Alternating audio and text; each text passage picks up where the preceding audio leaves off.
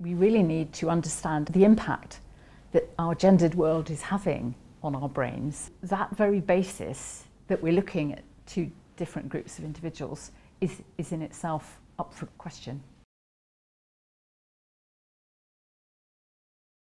There's a long history of this idea of differences between male and female brains. It used to be thought um, that there were clear differences between males, the brains from males and the brains from females, even before people could actually look at brains. What they did was they looked at society as it was currently structured and they said that women are uh, socially inferior, educationally inferior. So let's find a way of explaining that. And they focused on the brain. So the whole history of this has really been a, a hunt the differences saga. In the way people have been doing things backwards, do you think? Absolutely. I mean, I think a lot of science is about explaining the status quo. Uh, which could be, you know, why is the sky blue, etc. So you take that as a given and then you work backwards looking for the explanation.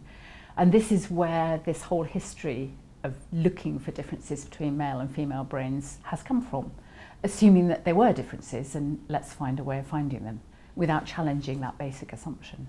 And, and you, of course, you say there's a long history. So back in the 19th century, there was this craze for phrenology, which was measuring me measuring bumps, bumps on, the, on the head. That's right. Well, there was two two disciplines, if you like, craniology, which was looking at the way in which the skull was structured. Some papers had like 5,000 different measurements at the angle between the jaw and the forehead and the nose, etc. And similarly with phrenology, feeling the skull, different bumps, which determined whether you were um, interested in justice and truth, or whether you were uh, maternally minded, or whether you were criminally minded. And so there was still this idea that we need to find a measure which will tell us why men's brains are different from women's brains. And did they find that? Oh, they were very good at finding it, actually. Yes, there was. Um, they'd set up these wonderful metrics, which would always somehow prove that men were superior. And when they were looking at women, they focused on those areas where they found a difference. And of course, techniques in neuroscience have, have moved on in leaps and bounds in recent decades. So we have these wonderful images of the brain uh, where different areas light up when you're thinking about different things. How has that changed the perception of sex difference? You started to get these wonderful images, and all of a sudden it looked as though you know the invisible had been made visible. We could see where the brain was active and what the person was doing when the brain was active. So there was a lot of excitement associated um, with that. But the trouble is those images in themselves are actually the result of an assumption of a difference. So the images you see are actually, this is a person not doing a memory task, this is a person doing a memory task, you subtract one from the other. And what you're actually looking at is the difference between those conditions. So if you're in an area where you're looking for differences, like males and females, then exactly the same principles were applied. And so what happened was that people were assuming there were differences and that's what they were looking for. Right, so we were having exactly the same problem of kind of retrofitting. Way, yes, yes, that's right. Yes, retrofitting is a good, good phrase. Yes, that's right. It started to engender big excitement in um, popular science because these images looked accessible. Mm-hmm. The story that you could spin around them was of interest to everybody because mm-hmm. everybody has a brain and a sex or gender of some kind, which is you know another whole issue. Um, and so people were really interested, and people were saying, "Here's the difference between a male brain and a female brain, and this therefore explains you know relationships, skills, education." It produced a big flurry of, of interest in this area. And those differences were undoubtedly there, or at least they seemed to be on the brain scans, but they were just a lot smaller, or, or they just didn't tell you what what people claimed they were telling yes, you. I think what people didn't communicate was that these differences are very tiny, very tiny, which in itself doesn't necessarily mean they're insignificant, but people didn't realise we're not looking at two completely different beings in terms of brains. And I think, I think that was quite important to realise. So it did look as though you know, there were really two very different entities, a male brain and a female brain, and from that everything else um, uh, emerged. there is at least a widespread perception that there, there are differences in, in all sorts of things, you know, all the stereotypes like men can read maps, women can't park, yeah, men right, yeah, can't yeah. multitask. Yes.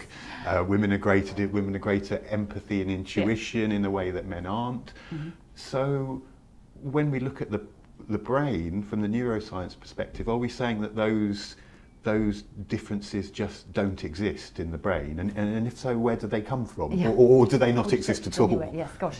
Um, I'm not denying that there are differences between every brain. I think every brain is different from every other brain. And certainly with respect to some of the biological characteristics between males and females, anything associated with reproduction, um, you know, there are hormonal receptors in the brain. But even there, there are quite marked areas of overlap, much more than people realised. So they are there, but whether they're relevant to the differences you then talked about is a moot point. But it's also the case that now we're revisiting this, what I call the go-to list of stereotype differences between men and women, we're realising that actually those lists aren't really reliable.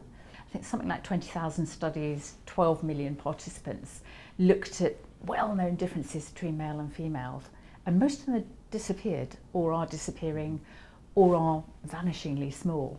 So that very basis that we're looking at two different groups of individuals is, is in itself up for you know question.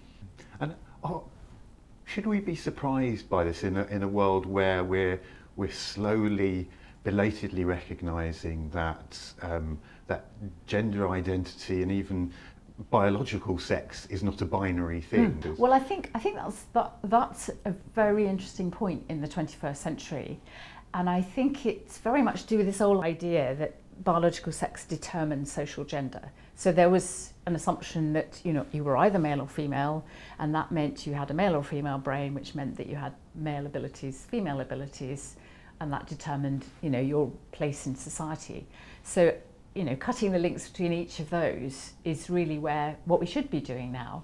But I think with respect to gender identity, we now know that one of the things our brain is really good at is making us a social being. We embed ourselves in social networks, and our brain is a really powerful determinant of how we do that. And if the brain is collecting the information from the outside world that, you know, this is what a man does and this is what a woman does, but for some reason you're you're not comfortable with that. The first thing that people look at is this biology gender link and they think I don't feel like a man therefore there must be something wrong with my biology. So actually if I change my biology then I can be comfortable with that link. I think transgender individuals very often say I feel, you know, I I had a you know, I was a female brain born into a male body or I've been put in the wrong box. And what would be interesting now, I think, would be to actually challenge the idea of these boxes. So, if we're saying that that these differences between the sexes really don't exist, or or or, or come more from cultural influ- influences, from our experiences, from our interactions with individuals, why does that matter?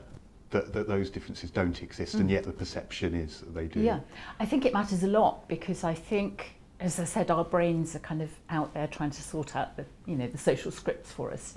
Um, and if the social scripts say, actually, you're a female, that means you're probably not that good at science. Science is not somewhere where females are comfortable. Um, you may go into science, but you know you're not going to progress very far. Then actually, that that will determine the decisions that people make. That will determine how people educate them or employ them, and it will also determine their feelings about themselves. So this old nature versus nurture dichotomy, we need to get away from that because we really need to understand how the, the impact that our gendered world is having on our brain. But I think until we actually get rid of the idea that sex is an important differentiator and we should be looking at individual skills, I think we're going to get ourselves stuck in the same self-fulfilling prophecy. Mm -hmm. Okay. Thank you, Gina. Good.